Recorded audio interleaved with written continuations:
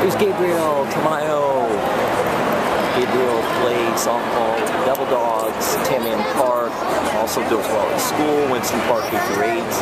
Here's right. Miami Herald, my mom's okay, economic sports program.